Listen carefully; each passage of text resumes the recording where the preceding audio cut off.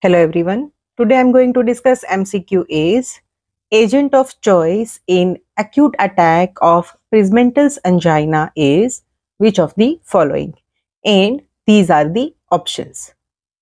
Let us understand the question.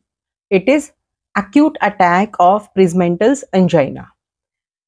Prinzmetal's angina is a special type of angina caused not by atherosclerotic blockage but by sudden coronary artery vasospasm.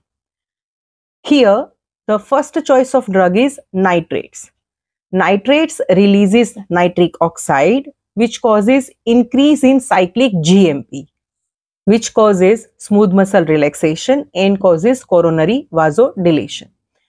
Rapid relief of coronary spasm occurs due to it.